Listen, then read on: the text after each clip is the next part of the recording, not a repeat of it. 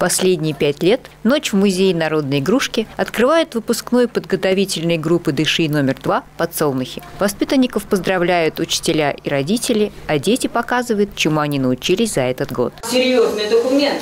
Его уже нужно настоящую папку убирать. Для выпускников провели мастер-класс по изготовлению традиционной тряпичной куклы «Бабочки». Продолжил ночь в музее открытие выставки с символичным названием «Уронили Мишку на пол». Название не случайное, потому что все равно его не брошу, потому что он хороший. И так приятно, когда игрушки э, детства, давнего уже для многих детства, очень бережно хранятся в семье, передаются действительно по наследству, как совсем-совсем немногие игрушки сейчас. На выставке представлены игрушки конца 40-х, начала 90-х годов прошлого века. Куклы из папье-маше, прессованных опилок, целлулоида, педальные машины, оптический конструктор и многое другое. Нам очень понравилось. Мы вообще здесь первый раз, поэтому приятно посмотреть на старые игрушки. Также посетители акции смогли увидеть диафильмы, послушать грамм-пластинки, смастерить игрушку, жужжалку из пуговицы. Всего в эту ночь музей посетили около сотни гостей.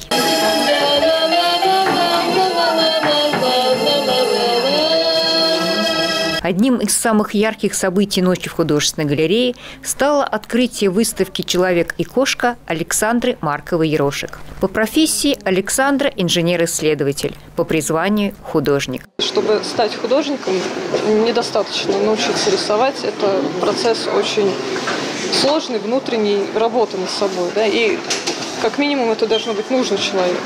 Вот когда есть вот эта необходимость, а у меня как раз эта необходимость была. «Человек и кошка» – первая большая персональная выставка Александры в художественной галерее. На ней представлены более 90 работ. В картинах художницы сочетаются элементы плаката, дизайна, фотографии, наивного направления в искусстве и программирования. Я не работала целенаправленно ни, ни в каком, ни, ни в одном из направлений, когда начала работать над своим стилем. Это смесь.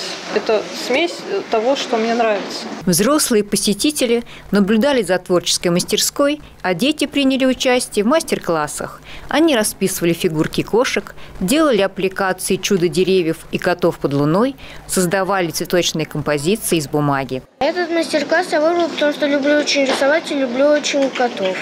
Детям очень понравилось. Очень заинтересовало, очень необычно.